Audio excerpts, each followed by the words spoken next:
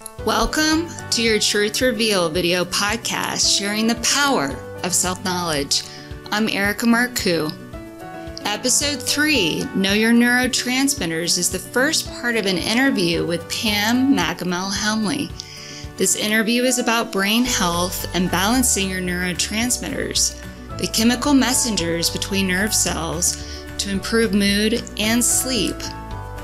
All of season one helps you to be your own health expert as I interview industry professionals to explore your hidden mental and physical health potential. My guest today is Pam Machemehl-Helmly. She received her Bachelor of Science degree in Scientific Nutrition from Texas A&M University. She is the Chief Science Officer of Wellnicity and the CEO of Neurogistics Corporation. She began neurotransmitter testing to help clients deal with sleep disorders, anxiety, depression, and focus. She co developed a way for people to take a clinical test kit at home, and these tests indicate critical areas of wellness, including brain health, digestive health, hormone health, and foundational health. This interview is to help people who want to reduce anxiety, elevate mood, and improve focus. Know that you can take an at home test to show your neurotransmitter levels and make changes to improve your health. You know, yeah. you do not get fresh neurotransmitters from a synthetic medication. Oh, okay. So they redistribute them, but they can't give you fresh. The only way to make your brain chemicals is through the proteins in your diet. Pam, I am so pleased that you're here today to share your knowledge with our audience. Thank you so much. I'm so happy to be here. Yay. Thanks for having me, Erika. By measuring actual biomarkers, you can determine what is out of balance and create customized nutritional and dietary solutions to bring levels back into normal ranges. It's really exciting for clients to be able to take their health in their own hands mm-hmm. and do some things that we consider foundational because they're nutritional in basis. So cleaning up your diet, stress management, but measuring some biomarkers that you might not get in a basic um, health and wellness check at your clinician. Right. So you're able to look at these levels and do something about them to take action on them. And we love anything that is complementary to something you might be doing. If you have to mm-hmm. take medications for your thyroid, for example, we want to make sure that nothing is contraindicated for that, but you're doing the things that will truly make a difference in your well being. That's excellent.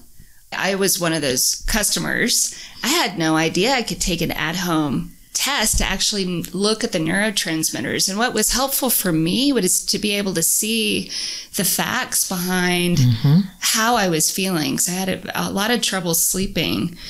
It's nice to put numbers to the feelings, right? Yeah. Or to quantify something. And, you know, a urine test, because it is excretory, it's leaving the body, it's not perfect, but the ratios are what's really indicative of what's going on with you. Right. And so we love working with children and adults that are having issues. So it's fun to quantify it and go, wow, mm-hmm. if I eat more of this and I do this type of exercise because my body is really stressed and take these natural supplements to make more of those neurotransmitters, mm-hmm. it can literally change your life as it did mine. Oh, can you share more about your own story? I can. I spent some time uh, as a young child in Europe. And when I was over there, I was much healthier than I was in the United States. We took fish oil, we did tryptophan, we walked everywhere. We had a refrigerator, of course, the size of a one that we had in college. And we had fresh foods every day. And in school, well, we walked to the beach for lunch. Wow. So it was such a conducive atmosphere. And I wasn't sick over there because everything wasn't dairy based. We didn't have have the gluten problem. When I came back to the United States, I got pretty sick. How old were you when you were in Europe? Probably kindergarten, first grade. I had been told all along, you have hyperactivity. You sit in this chair, we're going to set a timer and you're not going to move for that amount of time. And I would be doing headstands, you know, on the chair. I rocked in my chair for hours on end with and a blanket. And you rocked because you were diagnosed with. Uh, well, I didn't get diagnosed with Asperger's till I was much older. Back then, they didn't have a term for it. How old were you when you got diagnosed? Um, probably in my 30s. oh, goodness. So I'm on the downhill slide to 60 now, a long time, but I spent 25 years trying to balance things. Well, I realized when I was in college that I needed to do something different. I wanted to be more normal because I wanted to be able to wear jeans like my college roommate. You know, I wanted to be able to eat foods that had had these different textures. You know, I would have to look outside and say, oh, shorts. That means, oh, yeah, it is summer semester. I need to wear shorts and then I could bring it all back in. And why was that not clicking normally? I think that as I had more and more food choices on my own versus my mom who made healthy meals, um, I think it intensified. And also the stress of, you know, living by myself for the first time in a college dorm and realizing how truly different I was.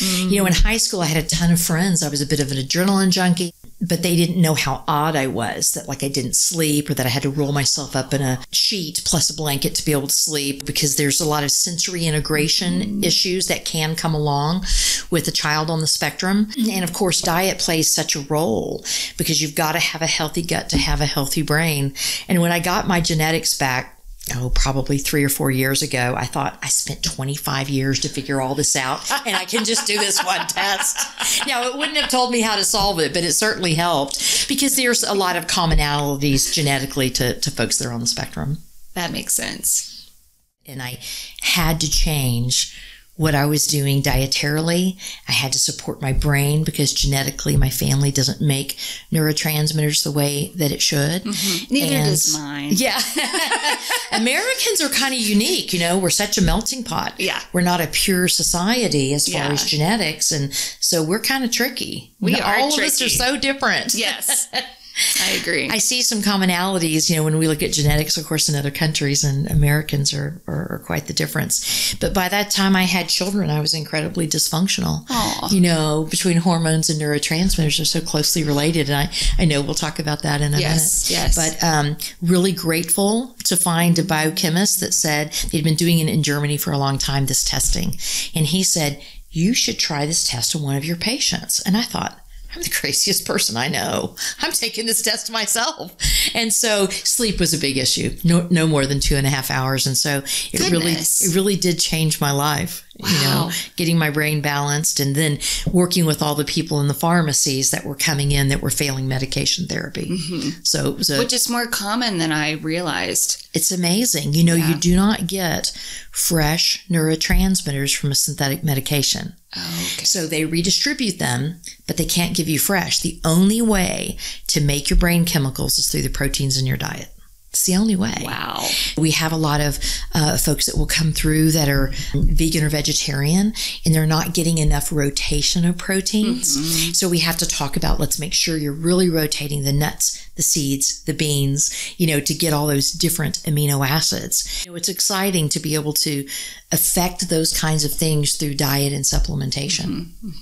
So, uh, one of the movies that I've seen recently was Temple Grandin. Oh, love her. I just think she is amazing. I mean, she grew up autistic, mm-hmm. barely able to speak, Right. and has contributed so much. Oh my goodness. and her understanding. her understanding, her ability to articulate it. When I learned about her in graduate school, helped me to understand myself. Sure. Because I thought, well, I'm not autistic, but I am extremely sensitive. Mm-hmm. And I remember reading the chapter on her, and she said, Well, yeah, put the weighted blanket on and you'll just feel relaxed. So I didn't have a weighted blanket, but Right. I, I got onto my couch and I just put a bunch of pillows on top of me and I Mm-hmm. went, ah, like, that works. It's so wonderful. I have a very heavy one, and my husband knows if he has anything else to say to me before the weighted blanket goes on, you better hurry up because Get it out. calms the whole nervous, Nervous system. system. And we are that combination of genetics, but you also have to think about what was the in utero experience. Yeah. Did mom have any fight or flight experiences? Right. Um, I specialize in my own practice within my company in internationally adopted children. And now I do a lot of domestic adoptions. And what, what's so interesting is, you know, these moms, many of them knew they were going to give up these babies. And so their brain was very excitatory during the pregnancy mm-hmm. and the child's brain then is developed thinking that that is the norm mm-hmm. and so they work very hard to keep that excitatory homeostasis yes and so in order to calm that brain down it takes a lot mm-hmm. so there was a study done by Karyn Purvis at Texas Christian University. Mm-hmm. And I had the benefit of getting to meet her. Some of the children that didn't qualify from the study, I was able to work with them. And we found that it took about three months or longer to really start calming that brain that had a heightened expectation, you know? Mm-hmm. So if the door slams, they responded for a really long time versus, you know, other folks we adopted our daughter when she was seven. Wow. So she was in foster care. Mm-hmm. I've always been on the lookout for her having maybe an overactive nervous system. I'd love for you to talk about what neurotransmitters and hormones that you do test mm-hmm. and why. Absolutely. We do a panel that's mm-hmm. our most prolific one, the ones that, that we have the most data on. And we test um, seven neurotransmitters, but we'll start with serotonin because I consider it kind of the mother of all neurotransmitters. And serotonin is so important because it plays a role with our mood, with our energy, um, it can cause carbohydrate cravings if it's too low. It affects our sleep cycle. Through a number of pathways, our serotonin converts into melatonin for a good sleep cycle. I see. And so it's really important to have healthy levels. And in the US, we have very low serotonin levels because we eat so much gluten. So and gluten decreases serotonin levels? It does. We make almost 95% of our serotonin in the GI tract. Mm-hmm. So we have 7,000 square feet of villi in the intestinal tract. So if we're putting this glue in there, which is what gluten is, it adheres to those villi and prevents the absorption of our serotonin. And a lot of people don't know that we have that much serotonin in our our gut mm-hmm. versus our brain. Right. We think that our brain chemicals are only made there, but they're not. not. Just like our hormones, women say, Well, I had my ovaries out, so I don't have any more estrogen. Yet we test their levels and they're still healthy because we make them in a lot of places that we don't even know. So it's pretty exciting. It's very interesting. But you know, serotonin is really important. If you think about children, goodness, almost all children's snacks are carbohydrate Carbs. related unless we're mm-hmm. really being diligent with fruits and nuts as they get older and things like that. Because there's a downhill flow in the synthesis when you're in conversion of neurotransmitters, serotonin has to be up there. It, what do you mean by a downhill flow? Explain that. So, one neurotransmitter will convert into another, kind of like serotonin converts into melatonin. Okay. Now, we can make those neurotransmitters independently, but we really want to have a healthy downhill flow of all of those neurotransmitters. So, serotonin will convert into dopamine. So that's the second neurotransmitter. I had no idea. Mm-hmm. So now, is it almost like a waterfall?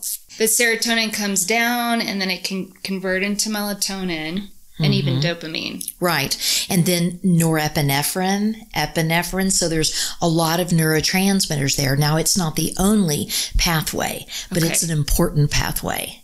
Is it the primary pathway? I think that serotonin is one of the most important neurotransmitters to have in a good ratio. Okay. So think about everything in life for us is stimulating. The phone rings, you slam the door accidentally, that causes the brain to respond mm-hmm. with an excitatory response. Mm-hmm. Oh, what was that? Or, oh, I need to slam on my brakes in the car. Someone stopped quickly in front of me.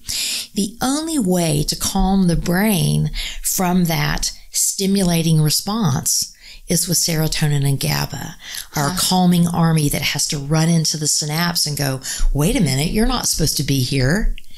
And you think about those friends that you may have scared when you were a kid and they recuperated right away. But then there's the friend that was shaken for 20 minutes. So their calming neurotransmitters hmm. were subpar. Yes. And the same is true with folks that go into surgery or have a baby. Balanced body and brain, whether it's hormones, you know, or your brain chemicals, helps you endure whatever, you know, we, we come mm-hmm. across in life. Mm-hmm. Dopamine is our joy neurotransmitter. Mm-hmm. And I have a lot of folks that come and tell me that I, I don't have any more joy. And I'll ask about focus and memory and drive and motivation. And you'll usually find that there's some other concomitant things that go along with that. Okay. Dopamine is the focus neurotransmitter that we hear so much, you know, particularly when it comes to ADD or ADHD. And they use stimulants for that. It's much mm-hmm. like other folks that use caffeine, same mechanism. Push dopamine into the synapse so that we can focus better. However, sometimes dopamine receptors aren't very healthy or it's mm. genetic. That, you, Yes. that you'll see it in a family. You know, you can look at the family tree. We have lots of families where we have three generations that have gone through. Well, good for them. Yeah, For it's working really on it. It's really great. As a family. Just supporting dopamine can help. It not everyone is going to get their levels into a perfect range, Mm-hmm. but dopamine is im- important. I realized that there was a problem with my dopamine. I was painting my house and I really wanted to do it. And, you know, I was really excited and we painted the house and I was like, oh, okay, that task is done. Instead of being, wow, I've been wanting to paint the house this color for so long, you know, and, and feeling the joy of all the things that you should. I know that a lot of people talk about when they have PMS, liking chocolate. Well, there is an amino acid in chocolate that plays a role with dopamine. It's, it's D-L-phenylalanine. And Does that um, increase dopamine? it does increase dopamine. So it makes you feel a little bit better. Yeah. And there's, you know, there's a very delicate balance with serotonin and dopamine. So for women, we don't tolerate as low levels of neurotransmitters as men do because at ovulation, dopamine goes up because that's our libido, that's our drive to mate. Our serotonin drops. So that person can be irritable, right, at mm. ovulation. And two to three days before the cycle begins, they both drop. So now No we are fatigued, maybe a little moody or depressed. Excellent Yeah. to be around. and agitated. And, and so then things normalize, you know, a little bit after. So our women really don't tolerate it as much. So dopamine is important.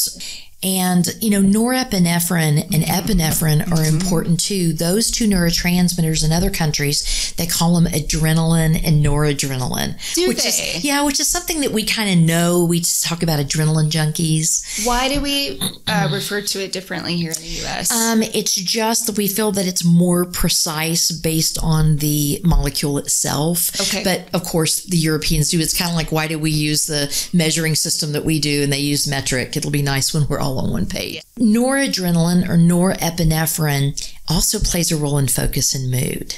Okay. And it plays a role in sleep, just like serotonin does. Mm-hmm. And you kind of think, well, why does this stimulating neurotransmitter play a role in sleep? Well, you have to have enough and you have to have balance for sleep to happen. I see. So norepinephrine converts into epinephrine or mm-hmm. adrenaline, and that's our get up and go. Or it's our too much get up and go Yes. a lot of our A type personalities will be elevated in their excretion values of norepinephrine and epinephrine. They'll have worse sleep and um, more anxiety. Dr. Thomas Boyce, he is a pediatrician and wrote a book about classifying children as a dandelion or an orchid. Right? So the dandelion is one of those children who can recover quickly, they can flourish in any kind of environment. Survivors. They're survivors. survivors of stress. Yes, it's Yeah. stress. And the orchid whew, is very sensitive. Mm-hmm. I was definitely the orchid child. Right? Me too. Yes. There's gifts to it And I really think that people need to understand that there is a difference in their recovery. So if they experience the same mm-hmm. stimulus, there's just a longer recovery, or at least that's how I experience it, or I have to compensate with the neurotransmitters to be able to be more in the normal range. You bet. And there's so many studies. There's this one that comes to mind that, that is so profound to me. Women that were raped they studied them and their response to stress and the way the brain responded. And women that were flashed or had a non physical abuse, and many times the brain responded the same. So the oh. response as far as PTSD could be equivalent, you know, in each person, even though it was not a physical assault. Our featured product for this episode is the My Brain Balance at home neurotransmitter test. Stress, a poor diet, and genetic factors can cause these chemical messengers to get out of balance. And with the Wellnicity program, you'll receive supplemental and dietary solutions to bring your levels back into normal ranges for overall brain health. Go to yourtruthrevealed.com slash store and use promo code TRUTH for a 20% discount. Episode 4 is the continuation of this interview with Pam Machemehl-Helmly. It's really great to just know that you're doing something better for your body and it lets your body adjust. Mm-hmm. You are changing the biochemistry of your body when you start taking action on doing some things healthfully. How does your diet affect your brain health? I invite you to post your answers in the comments below. There are also great resources in the description. Please subscribe and click on the bell so you'll know when the next episode is available. And for more learning, download your free worksheet at yourtruthrevealed.com. Thank you for watching. I'm Erika Marcoux.